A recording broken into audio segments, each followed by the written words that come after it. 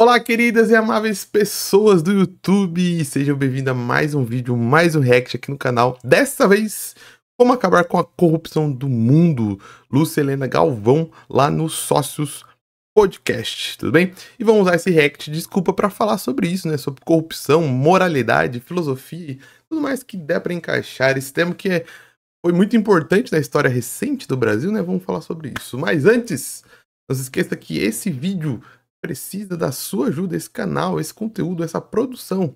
E você pode ajudar de maneira muito simples. Você pode curtir, comentar e compartilhar esse vídeo, me ajuda demais. Você não tem ideia. Então, não é inscrito no canal? Verifique sua inscrição aqui, se inscreva. É inscrito no canal? Curta, compartilhe, joga lá no grupo do Zap esse conteúdo muito bonzinho, nota 6. Não é um Casemiro da vida, não é um Luigi da vida, mas tá pro gasto. Vamos lá. E se você viu a minha cara aqui pela primeira vez nesse YouTube, assista o conteúdo. Se for bom de alguma maneira, se te apetecer de alguma maneira, se te ajudar a construir algum conhecimento, se inscreva, tem vídeo quase todo dia aqui no canal, beleza? Então chega de papo, vamos pro vídeo, pro react. Corrupção, né? Corrupção que eu acho que foi, cara, se tem uma palavra, é, lógico, a história de um país, a história recente do Brasil, a gente não pode resumir uma palavra, né? Mas se tem uma palavra que moveu, né, é a roda da história recente do Brasil, essa palavrinha, né? A gente tá, essa palavrinha tá desbancando e elevando candidatos a um, inúmeros cargos, né? Desde deputados, vereadores, prefeitos, desde 2014, né? Eu, eu acho que a corrupção sempre foi um assunto no Brasil, desde sempre. A gente tem vários personagens históricos, a gente tem várias questões históricas, corrupção, né? A gente tem no nosso país a questão do rouba mais faz, que vem antes do Maluf, inclusive, não é do, o Maluf é, personificou isso para cultura pop, né? Mas vem antes lá do Maluf, se não me engano, lá do Ademar de, vem lá do Ademar de Barros, que era governador de São Paulo, essa questão do cara que está se corrompendo, está roubando alguma coisa, mas está fazendo. Mas na história recente subiu muito tom essa palavra corrupção e ganhou projeção, né? Eu consigo retomar desde a desde a da eleição de 2014, com o começo da Lava Jato, né? Ali naqueles debates da Lava Jato tava comendo solta em Aécio contra Dilma e tudo mais. Depois teve toda a questão da, das jornadas de junho junto com isso também a questão dos 20 centavos, depois teve o levante dessa nova direita com os movimentos de rua, né? Os movimentos digitais da nova direita, que a corrupção era uma palavra, uma palavra de ordem. Depois com o governo Bolsonaro. E agora a gente está vendo um, meio que um, uma crise, né? Dessa questão da palavra corrupção, porque não tá pegando muito mais, né? Porque agora de tudo que nós estamos vendo com e aqui eu tô fazendo uma análise mais fria possível, sabe? Nem tô falando sobre presidente ruim, B ou C ou de espectro ainda, né? Mas se vê um pouquinho da arrefecida dessa questão, porque se vê que o governo Bolsonaro, que era o, o bastião da corrupção, não era tudo aquilo, né? Que ele também estava envolvido em vários escândalos de corrupção, inclusive grandes personagens que foram, a luta contra a corrupção também foram desmascarados aos poucos, como o próprio Sérgio Moura, que hoje é um candidato e é uma pessoa que tem muito menos apoio do que ele tinha. Cara, se o, se o Moro se candidatasse a qualquer coisa depois das prisões, naquele auge da Lava Jato, ele ganhava muita coisa, sabe? Ele conseguiu até o Senado, mas ele, na jornada dele, até queria mais, sabe? Quem sabe até um vice-presidente ou presidente, nunca se sabe, né? Mas você viu que tá dando uma arrefecida porque principalmente os candidatos que pegavam para si essa questão de anticorrupção estão sendo pegados no pulo, né? E aí que vem o grande problema que a gente tem que encarar e ver que a corrupção, ela ninguém quer ela. Não, não tem ninguém que é a favor da corrupção. É, falando do povo e até falando dos candidatos mesmo. Mas ela faz parte de alguns aspectos do sistema em que a gente vive. Isso não é defender corrupção, nem falar que a corrupção tem que ser feita, porque ninguém defende a corrupção. Isso é só uma análise sociológica, só uma análise da política desse presidencialismo de coalizão que a gente tem, onde a corrupção ela vai ser uma das regras do jogo e inclusive ela é uma das regras do jogo corporativista capitalista dentro das empresas. A gente esquece muito isso que grande parte da corrupção ela é privada. Ela não é uma corrupção só pública, mas são agentes privados que tentam corromper é, licitações, concessões e tudo mais. Então, é uma regra do jogo que se joga há muito, muito tempo no Brasil. Isso, eu tô falando de novo, não é para falar que a corrupção é, é legal, nem que a corrupção é desejável, mas que a luta contra algo que está inerente ao sistema é demorada, muito difícil e muitas vezes é quase impossível dentro desse sistema, dentro desse jogo. Porque não adianta você mudar as peças do jogo e não mudar o jogo, né? Como já diria Casemiro num corte que eu vi dele. E não adianta você mudar as peças do tabuleiro e você não mudar o jogo. A corrupção, nós queremos ou não, nós gostamos ou não e ninguém gosta. Ela em maior ou menor nível, ela faz parte desse jogo. E a gente, claro, isso não é um chamado desmobilizante. A gente tem que lutar para essa corrupção não acontecer mais. Mas você tem que ter a honestidade de que, cara, infelizmente, e é duro até falar isso em voz alta, mas ninguém escapa, tá ligado? O, o candidato que você tá pensando, o candidato que eu tô pensando, o candidato que você votou ano passado, o candidato que você votou em 2018, candidato que você votou em 2014, ele pode não participar, tá ligado? Eu acredito muito que tem pessoas, e espero isso porque faz parte da mudança da esperança, que não participam. Mas com certeza elas sabem disso, elas veem isso acontecer e elas estão de mãos atadas porque elas estão dentro desse sistema. Esse sistema não se muda do dia para noite. Né? Espero que tenha para entender que é só uma análise de que é um problema muito mais complicado do que querem pintar, principalmente em ano de campanha. Em ano de campanha, querem pintar para você que corrupção é fácil de, de se extinguir. Corrupção é simples, que é só fechar a torneira. E não é bem por aí. Inclusive, o Bolsonaro, candidato anticorrupção de 2018, viu isso, né? E ele não conseguia fazer nada. Para quem não manja muito, é, o que acontece desde que o Brasil é Brasil, desde a redemocratização, é o quê? Você tem que compor com o Centrão para governar, porque o Centrão vai te dar votos para aprovar projetos. Então o que você faz? Você faz um jogo de toma lá da cá. Você dá ministérios, é, ou seja, você chama o Centrão para o governo e o Centrão vai querer o orçamento. E aí que vai acontecer é, alguns casos de corrupção. Por isso que eu falo que tem, às vezes tem pessoas que não estão ativas, acredito muito, mas elas sabem que ao dar um ministério, ao dar uma secretaria, ao dar um departamento, o ministro, ao dar alguma coisa para tal partido, ele sabe que vai ter maracutaia naquele, naquele, naquele escritório que ele deu, tá ligado? Ele pode até não sujar as mãos diretamente, mas ele tá ligado que ele colocou, quando ele colocou aquele partido naquele gabinetezinho, vai ter alguma coisa. Então você chama ele para governar e aí você faz esse esquema e tudo mais. O, o, Bolsonaro tentou fazer diferente nos dois primeiros anos, que foi conversar com as bancadas, não com os partidos. Então ele ia nas bancadas da bala, do, do agro, do que, ia tentando conversar. O que foi que aconteceu que, tipo, os dois anos, primeiros anos de governo, ele governou por medida provisória. Medida provisória é um poder que o presidente tem de escrever um projeto de lei que ele vira lei imediatamente, tá ligado? Só que acontece, esse projeto, essa MP, ela tem que ser votada, é, ela tem que ser votada a, até certo tempo, senão o, ela perde a validade, tá ligado? Porque senão o presidente seria tipo um imperador, porque ele poderia fazer o que ele quiser. Só que ela tem tipo 180 dias, um bagulho assim várias MPs do Bolsonaro caducaram, tá ligado? Deixaram de valer porque ele não conseguia compor com o Congresso.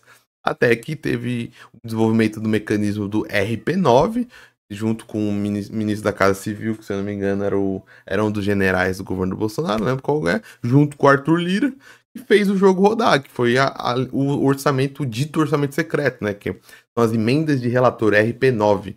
Que as emendas, elas não. Elas são constitucionais, elas estão na lei. Mas a questão da emenda do, do, relator, o que era ilegal, é que você não sabia para onde estava indo, nem quem liberava a grana. Então era uma grana totalmente secreta, que ia para um lugar totalmente secreto e era usada de maneira que a gente não sabia. Porque as emendas são naturais, né? as emendas estão dentro do jogo legal. Não é ilegal liberar a emenda. A questão do orçamento secreto era que, por isso o nome orçamento secreto, é porque ninguém sabia pra onde tava esse dinheiro, tá ligado? E isso é ilegal, tá ligado? Já falei 10 minutos, mas eu só queria traçar um panorama pra gente conversar sobre a relação, 1% da relação do Brasil com a corrupção, que com certeza a gente poderia aprofundar muito mais. Beleza? Vamos, vamos pro vídeo? Porque isso aqui é um react, né?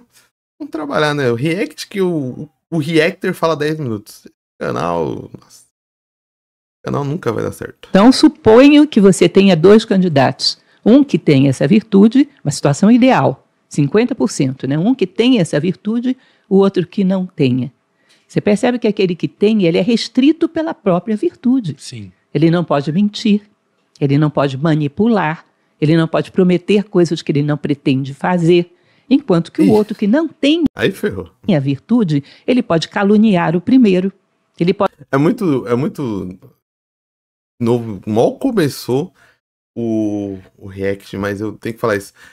Nós brasileiros temos meio que introjetar na nossa cultura essa desesperança política, né? Eu tô aqui, eu, nesse React, tentando não cair nesses chavões de todo político é bandido, mas a gente tem tão introjetado a gente que é, é difícil não ir pra esse lugar comum, né?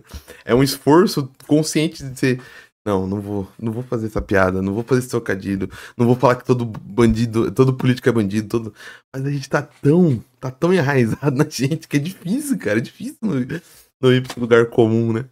Pode inventar coisas, ele pode prometer coisas que são absolutamente impossíveis de serem executadas, oferecer coisas que bajulam os interesses pessoais dos seus eleitores, de tal maneira que uma probabilidade, digamos que a princípio os dois estivessem ali e eu não tivesse nenhuma informação, eu poderia escolher um ou outro através do acaso.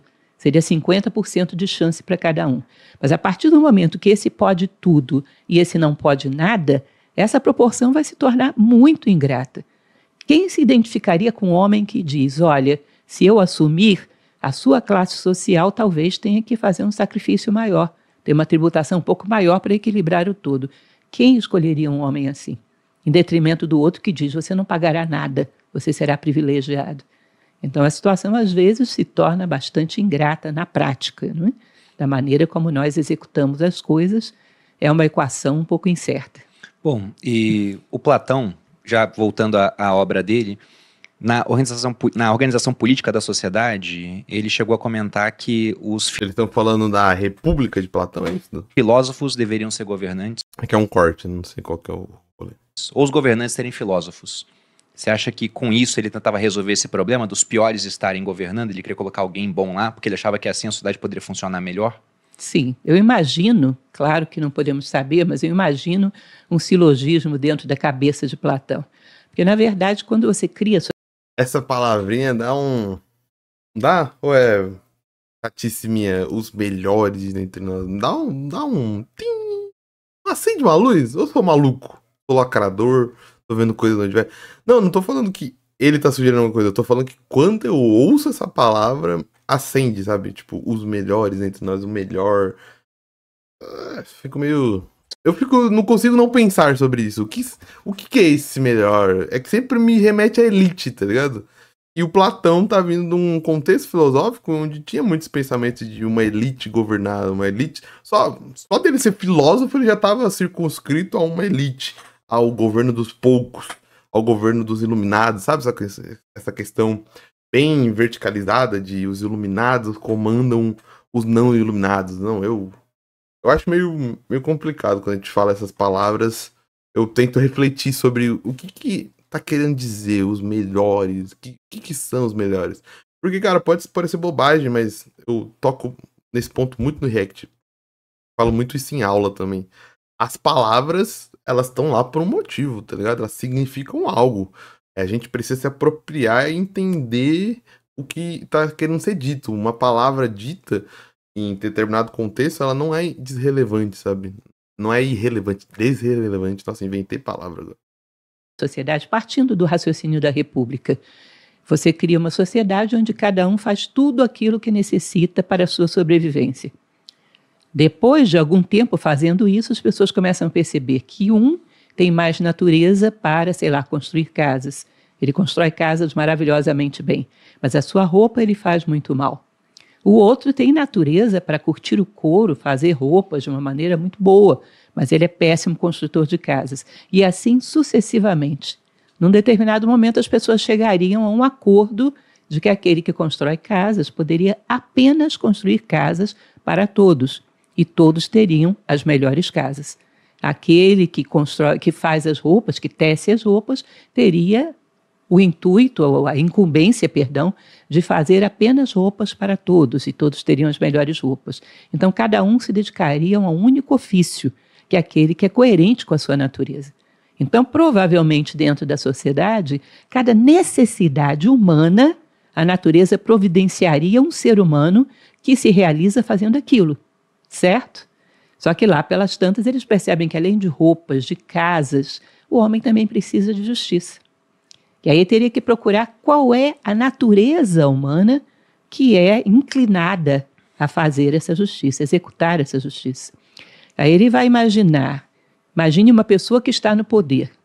Essa pessoa que está no eu tava esperando só ela desenvolver mais para não parar no meio. Mas é, é uma visão totalmente determinista biológica, né? E, e, por isso que eu fico sempre assim de alerta quando. Eu sei que pode até ser quem chapéu em ovo, mas eu acho que é, é interessante a gente comentar, né? Sempre que vem essas palavras melhores, natural, é, da natureza do ser humano, a gente tem que acender uma luzinha e, tipo, analisar, né? Porque é aquilo, nós somos seres biologicamente feitos, mas também culturalmente feitos, socialmente feitos, né? Então, não existe no nosso código genético, existe no código genético orientação para produção de proteína, é, diferença em, produ em, produções em menor ou maior quantidade de, de, algum tipo de aminoácido. Existe sim uma, uma orientação genética para altura, para tipo de corpo físico, para desenvolvimento de músculos. Mas quando a gente fala de características culturais e humanas, é meio complicado a gente falar de orientação genética. A gente pode falar de facilidade, talvez. Algumas características genéticas que você tem, talvez te dê um pouquinho mais de facilidade de desenvolver certas, certas, certos trabalhos. Mas a gente tem que pensar do, do pressuposto também que os trabalhos são invenções humanas, esses trabalhos em específicos que ela está falando, né? Esses trabalhos são invenções humanas que teoricamente, todos nós teríamos capacidade de aprendê-los em menor ou maior escala, sabe? Porque esse tipo de orientação de sociedade vai cair num admirável mundo novo, né? Um, numa Krypton, né? Numa escolha, num, numa seleção de nascença de que uma família de ferreiros sempre vai ser ferreiros, uma família de marceneiros sempre vai ser marceneiros, né? Como se houvesse algo na genética, na biologia desse ser humano que lhe levasse para esse caminho. É todo um mundo totalmente determinístico, né? No poder, ela tem acesso a muitas coisas, como nós falamos. Pode cometer todo tipo de injustiça com muita facilidade. Então, nós poderíamos fazer o que para evitar que isso acontecesse? Claro que isso é com as minhas palavras, não estou dizendo que isso esteja na República, mas eu imagino assim. Você teria que colocar um vigilante que vigiasse esse governante. Mas quem te garante que esse vigilante não se aliaria a ele e também se corromperia? Quem vigia o vigilante. Né? Isso. Você coloca What um vigia vigiando o vigilante. Uhum. Daqui a pouco um vigia vigiando o vigilante do vigilante do vigilante. Isso vira um jogo de dominó. Quando cai um, caem todos. Então você não resolve. Uma boa ideia seria colocar esse vigilante dentro do ser humano, sendo a sua própria consciência de tal maneira que a sua consciência vigiasse e não permitisse a ele cair na injustiça, cair na falta de ética, cair na corrupção. Quem é esse homem que ama a verdade, que ama a sabedoria e busca a verdade e busca a sabedoria pela sua própria natureza, pela sua própria inclinação e não porque alguém o vê do lado de fora? Esse seria o filósofo, porque filosófos é exatamente isso, aquele que ama a sabedoria. Filos ou filia mais Sofia. Aquele que ama a sabedoria. Então ele vai buscar sabedoria, vai buscar a verdade, vai buscar a ideia do bem, porque essa é a sua inclinação interna e não porque alguém o vigie do lado de fora. Por isso, essa seria a pessoa ideal para conduzir esse governo. Você não precisa vigiá-lo, ele tem dentro de si alguém que garante a lealdade a esses princípios. Por isso ele dizia que esse seria o homem mais seguro para conduzir uma sociedade. Agora, o ideal seria que esse homem primeiro demonstrasse essa inclinação, depois se tornasse um governante. Porque talvez o governante que está lá não tenha essa natureza. Uhum. Como é que você vai fazer isso nascer? Existe uma passagem que eu gosto muito que se cita do anedotário sobre a vida de, de Sócrates, né, sobretudo em, em Xenofonte, que no determinado momento as pessoas teriam perguntado a Sócrates: Sócrates, você é tão bom, fala tão bem, convence tantas pessoas, é tão bom filósofo, por que, que a gente não vai lá, não pega os 30 tiranos de Atenas e você fala para eles todos, até o momento em que todos se convertam em filósofos? Uhum. E Sócrates teria dito: Olha, minha mãe, Fenarete, era uma parteira. E era uma excelente parteira. Mas tem uma coisa que ela jamais seria capaz de fazer, que era dar à luz a uma mulher que não estivesse grávida. Entende? Ou seja, se você não está grávido da filosofia, do amor à sabedoria, não sou eu que vou poder fazer o teu parto. Por muito complicado, né? Porque, de novo, parte dessa questão de um determinismo biológico, de uma natureza, de como se nós não tivéssemos a parte social, de como nós não fossemos desenvolvidos socialmente, e como se esse tipo de amor ao conhecimento ele fosse restrito a um tipo de conhecimento e fosse restrito a um grupo de iluminados, né? E eu acho que fica meio restrito, fica, não fica, não parece uma, uma caixa muito específica. Muito que eu seja um excelente parteiro, porque Sócrates dizia que ele era exatamente isso, né? um parteiro de almas. Por muito que você seja muito bom parteiro, se essa pessoa não está grávida da filosofia, ou seja, ansiosa pela busca da sabedoria, não há nada que se possa fazer. Eu me recordo que foi uma é determinista e fatalístico, né? No sentido de que parece que só existe um grupo de iluminados. Se esse grupo de iluminados não puder. É, só eles vão despertar algum tipo de conhecimento, como se o conhecimento não fosse construído em sociedade não pudesse ser transmitido através de histórias, através de escolas, através de universidades e tudo mais. É complicado, porque se a gente ficar nessa visão dos gregos, é, a gente não avança muito, né? Porque senão a gente vai ficar esperando que esses iluminados apareçam, eles se mostrem iluminados e que eles mudam o mundo. Mas a própria história do mundo, eu acho que é uma prova de que não funcionou muito bem por aí, né?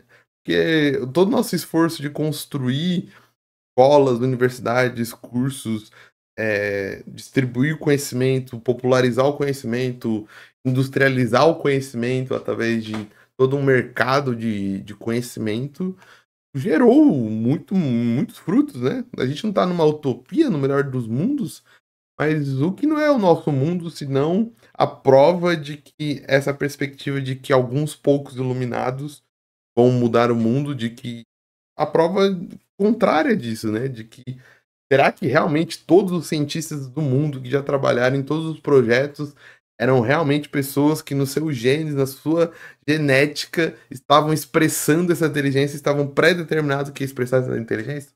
Acho que não, né? Porque quanto diz nós, nós mesmos, né, como os indivíduos, somos prova de que a nossa trajetória é muito determinante para o tipo de formação, tipo de área que a gente decide ir, né? Quanto de nós não é influenciado por um livro, por um autor, por um professor que mudou o seu estilo de vida, né? Tudo isso tá extrabiológico, tá na esfera social e cultural de relações humanas, né?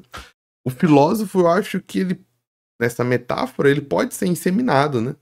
É, eu, não, eu não preciso esperar ele ficar, é, nascer o filósofo grávido, colocando essa metáfora em jogo, né? Mas eu posso fazer uma inseminação artificial, né? E assim depois fazer o parto, porque senão é muito fatalista e muito determinista, né? como se eu não pudesse ensinar as pessoas, como, como se as pessoas tivessem é, a ignorância ou não amor pelo conhecimento fosse só dos dotados, dos iluminados.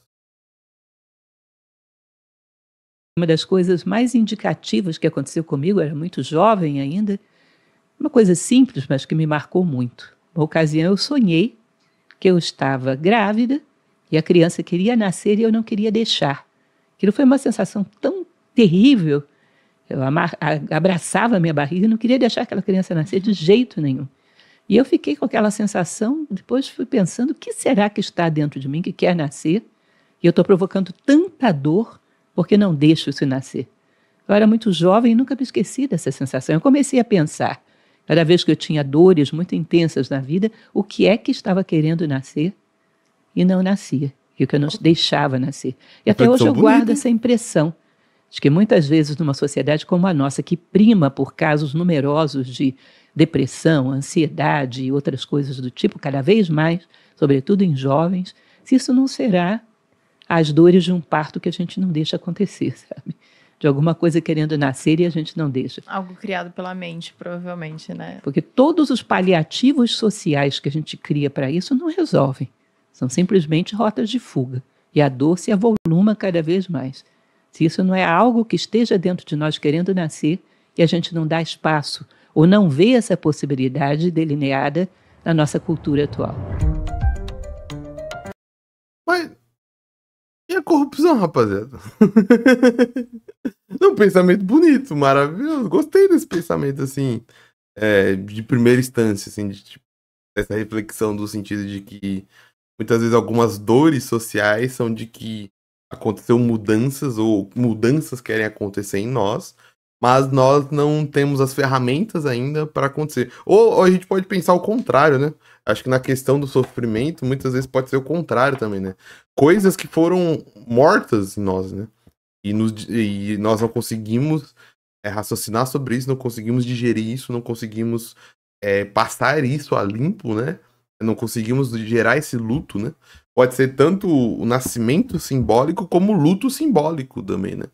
Nascimento simbólico de algo que quer mudar e eu não estou pronto, ou não tenho as ferramentas para perceber que eu estou mudando, ou algo que foi mudado em mim, foi tirado de mim, foi imposto a mim, é, algo que eu perdi e eu também não, não consigo lidar com esse luto. Mas, clickbait, hein, sócios? Clickbait, não tenho nada contra clickbait.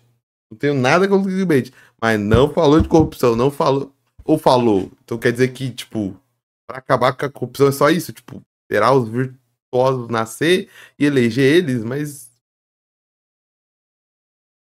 Tô perdido. Se for isso, é...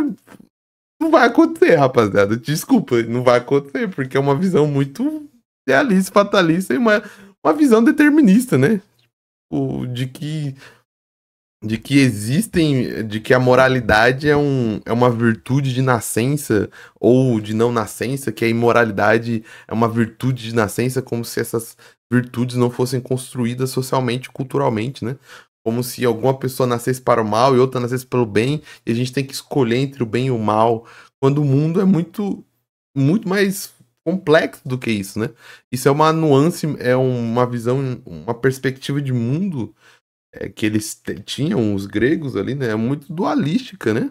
Uma perspectiva de que o bem e o mal está se manifestando naturalmente nos nossos genes. E a gente já tem conhecimento, acho que filosófico, genético, e a gente entende muito mais a natureza humana para mostrar que, ok, existem algumas características que realmente são inatas, existem algumas predisposições do nosso material genético, mas essas predisposições estão se comunicando num ambiente social e esse ambiente social está moldando a biologia, a biologia está mudando a sociedade e vice-versa, sabe? E existem várias virtudes, várias questões que a gente pode construir socialmente e existem questões que sistematicamente é problemático também.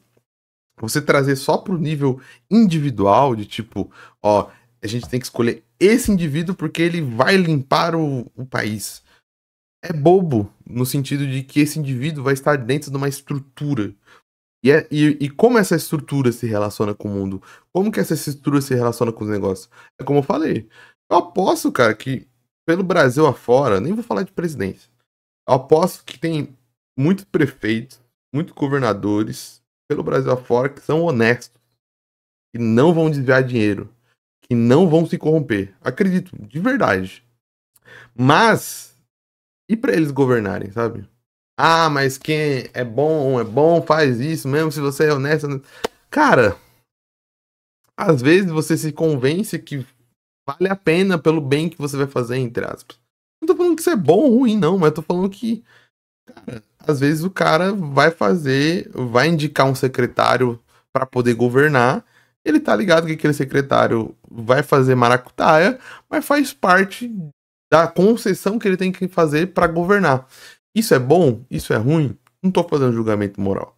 Tô fazendo uma análise de que pô, deve acontecer pra caramba no Brasil. Pessoas que são políticos totalmente honestos, políticos que querem governar de uma maneira justa, mas em que sistema eu estou botando? Eu estou botando ele também num sistema justo? No sistema que o jogo vai, é, de alguma forma, fomentar esse tipo de, de comportamento? Porque se, se esse comportamento não for fomentado nas estruturas do sistema também, a gente fada ao fracasso. Porque um sistema viciado, um sistema que funciona de uma regra, não adianta eu mudar as peças. As regras serão seguidas. Se não forem seguidas, os peões serão trocados por aqueles que seguem as regras. Tá ligado? Se você não seguir as regras, a gente vai te empichar, a gente vai te tirar, a gente vai deixar de te dar apoio, você não vai ter os votos, e é isso. Que governante vai querer perder assim que entrou, por exemplo, o seu poder, é, ou querer sair como um fracassado, como aquilo que não, aquele que não conseguiu, entende? Então é, é muito, muito, muito, muito mais complexo. Tudo bem? Vou ficando por aqui. Espero que você tenha gostado do vídeo. Se você gostou, não esqueça de curtir, comentar, compartilhar esse vídeo. Eu vou ficando aqui. Até uma próxima e tchau!